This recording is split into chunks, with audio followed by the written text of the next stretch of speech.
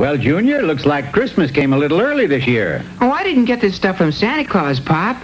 I won it off the kids in the neighborhood. You won it. Yeah, we flipped for it. You mean you mean you gambled? Well, no, not exactly. You see, I remembered one of your adages, and I came out winning every time. You didn't use a dishonest coin. Sure I did. You once said two heads are better than one. So I got this two-headed nickel here, and... Yeah, and- now I insist that you return this this this ill-gotten booty right away. The very idea, Junior. I'm the, when I said two heads are better than one, I didn't mean to apply it the way you did. What did you mean? Well, take the fable of the centipede and the snail. Every year, the animals and other creatures of the forest would meet in a race to determine who was the fastest of them all. Of course, the results were usually the same. The hare not only won, but he crossed the finish line before the slower fellows even got started. How do you like that? Last again. You know something? I'm getting sick and tired of being a laughing stock. Me too. I'll tell you what. Let's you and me put our little slimy heads together and see if we can win this thing next year. It seemed like a good idea, so they went into immediate training. Look, one of us will be the trainer while the other one does the running. Fair enough? Yeah, it suits me. This was to be determined by clocking each other's speed in a three-yard race. Well, how'd I do? Not bad at all. You ran three yards in three hours. And now it was the snail's turn, and he was certain he could beat the centipede's time. Three days later, he completed his run. Three yards in three days. Not too good. Well, if I hadn't hit that red light. Thus, the snail became the trainer and the centipede the runner. Now, the first thing we gotta do is put you on a diet. Hey, I got an idea. Why do not I eat the same food rabbits eat? If it makes them fast, it'll make me fast. Okay, go eat some carrots.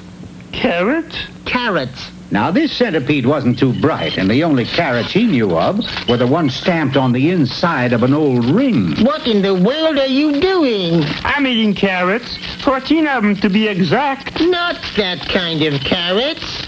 Uh, what's it taste like? Pretty good. Have some. On the day after they were released from the hospital, the boys went back to work. Here now, hold on to this rocket. Am I going to eat it? Don't be silly. I'm going to light it, and it'll take off with you holding on to it. That'll give you some idea of what high speed is like. You certain I cannot eat it? You can eat it later. Now hold on. I'm really moving, ain't I? Something's wrong. Must be a dud. Here, let me see it.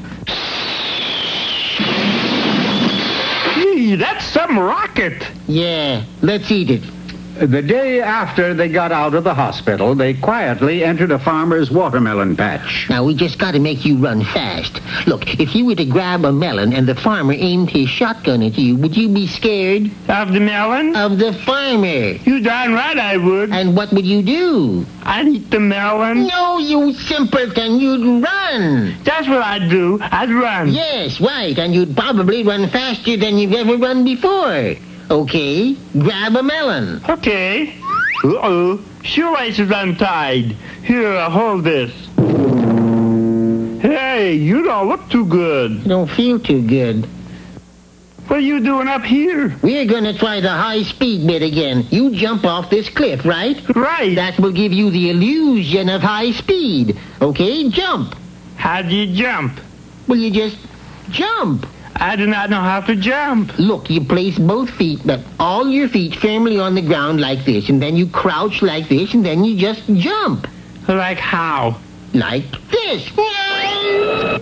Oh, now I get it. The day of the race finally dawned, and the centipede took his place alongside of the hare. However, when the starting gun sounded, the centipede took off in the opposite direction and joined his trainer behind a tree. Quick, get into this basket. Yes, the snail and the centipede had given birth to a unique idea. A oh. balloon carried the centipede aloft where a stiff breeze took it and sent it soaring over the finish line just ahead of the shocked hare. Unfortunately, the centipede just kept on going and was never heard of again. So you see, son, that is the true application of two heads are better than one. I get it, Pop. Uh, where are you going, Junior? I'm going to return this stuff and destroy the two-headed nickel. Yes, but you usually have a moral of your own to inject here. I do.